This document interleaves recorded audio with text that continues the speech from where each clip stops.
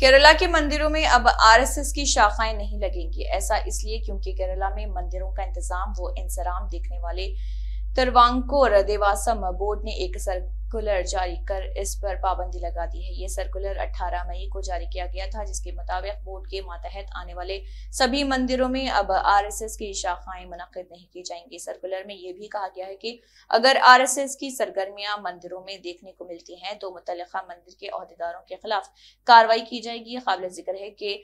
तरोंगकुर Devaswom board ने 2016 में भी एक सर्कुलर जारी किया था जिसमें मंदिर अहातों में आरएसएस के जरिए इस्लाहों के ट्रेनिंग पर पाबंदी लगाई गई थी बाद में 30 मार्च 2021 को फिर से सर्कुलर जारी कर सख्ती से हुक्म पर अमल करने की हिदायत दी गई थी साथ ही सर्कुलर में पूजा व त्योहारों को छोड़कर मंदिर अहाते का इस्तेमाल किसी दीगर मकसद के लिए किए जाने पर रोक लगा दी गई थी